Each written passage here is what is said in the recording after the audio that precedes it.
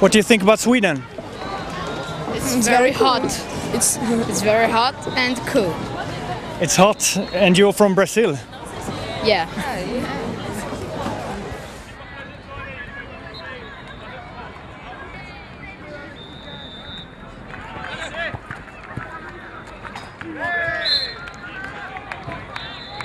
Tell us about the game.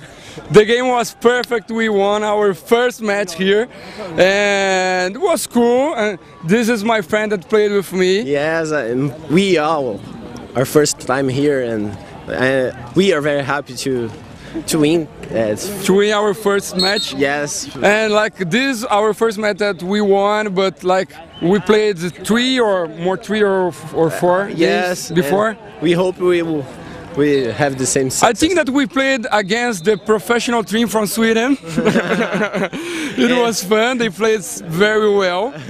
But okay, we are just learning here. And mm, today we showed for everybody that Brazil is not just soccer. Yeah. We- we very fun, very fun. It was. It, it's been very fun.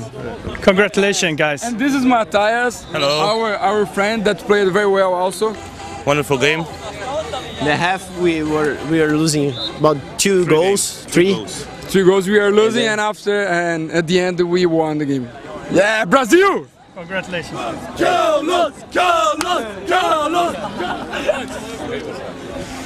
You seem happy here. Ska jag inte prata svenska? Say boy yes. Yes! Have you won any matches so far? Yes, we have gone to the A-slutspel.